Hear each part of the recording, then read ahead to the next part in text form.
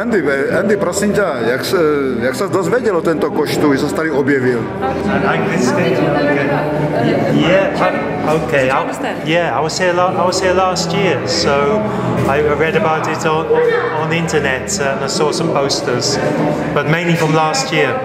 Eh, Byl jsem tady loni a jinak jsem se o tom dověděl na internetu a z nějakých plagátů, ale vlastně hlavně kvůli Loňsku, že jsem tady už byl. Actually, actually, because I went to in Varpenki, and they sent they sent me here in the afternoon. Já jsem původně jel na košt ze Slivovice do Vápenek a poslali mě sem, že tady se něco děje i odpoledne. Tak on si spletl termín, jo?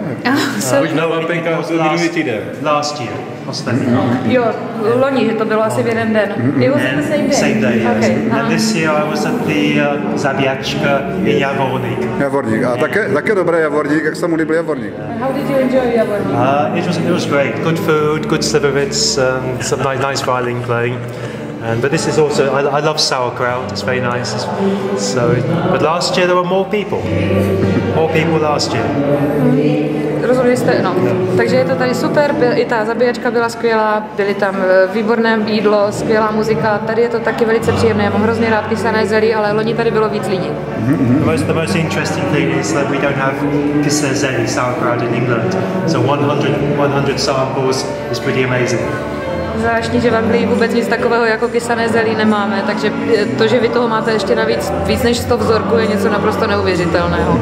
A ještě jedno jméno a odkud jste? Uh, yes, yes, yes, you Andy. I'm Andy, Andrew, Andrew, and I'm from Bridgewater, Somerset. It's a small town near Bristol, Bridgewater, Somerset. Somerset. in the south. On už tady žije několik roků, že? Jeho západ, jeho západ Anglie, Bridgewater, Somerset, blízko Bristolu a uh, It's uh, Just, Justval. Justval. It's a sister town to the West Coronation. jo, že je to sesterské město vlastně, Bridgewater, nebo For 20 years now. 20 years. 20 let. Yeah. I first came here 20 years ago, A poprvé jsem sem přijel před 20 lety. and now I've been here again for three, three years. and I've been here altogether about 15, 16 years. Teď už jsem tady zase tři roky a celkem jsem tady strávil asi 15 nebo A 16 kde let. tady žije? A v Severském hradišti. West Coronation, I teach in Kunovice. A učí Kunovici. A jak eh, on tady ukončil rozhovor, který se právě nechcel, aby ukončoval, Františku, tak něco se jen zeptat, eh, byl už na nějakých koštoch, eh, kromě kysaného zelí, to znamená, že na vápenkách, kde si vůbec navštěvuje klobásky, nebo víno, nebo další košty. Yeah, I, I go to the uh, sausage tastings, the, the cabbage tastings, but mostly to the plum brandy and to wine. Next weekend I'm going to Kostellani, Kostelovic.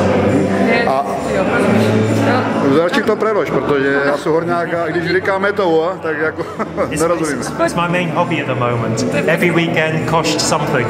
To je můj, můj největší koníček v současné době, jak je někde košt o víkendu, tak tam jdu a samozřejmě zbožňuju košty jak z zelí, tak klobásek, ale hlavně slivovice a vína. Příští týden, příští víkend se zrovna chystám na košt slivovice do Kostela.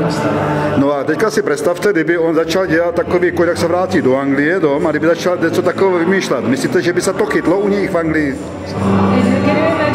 Coming back to England and do the tasting like this in there? Do you think that it would have it would be I, I, successful? I, can, I can imagine uh, beer tasting in England and cider tasting, but ne- never, never cost zelly, never, no way. Umím si představit, že by se tam koštovalo pivo nebo cider, ale, ale kysané zelí, to si opravdu představit neumím. A dělají tam, No, klobása taky ne. taky ne, a dělají tam vůbec nějaké oni takovéto košty, tak on říká, myslím, košt piva, nebo ale takové to verejné, ne? Piva máme. A také soutěžně, je to také soutěžně. Soutěží, tak. Také soutěžně. A co ještě, jaké tam ještě? A jaké ještě tam máte košty? Ještě jaké tam ještě dělají What košty? other type of tasting do you It's, have? it's uh, cider, cider tasting and, and ale. Ale. Cider, cider a ale, And so, which is beer, which is beer což je to anglické pivo. Ale. But we have no wine and no plum brandy in England. So Ale žádné víno ani slivovice v Anglii neexistuje, takže v tomto směru nic. some good gin.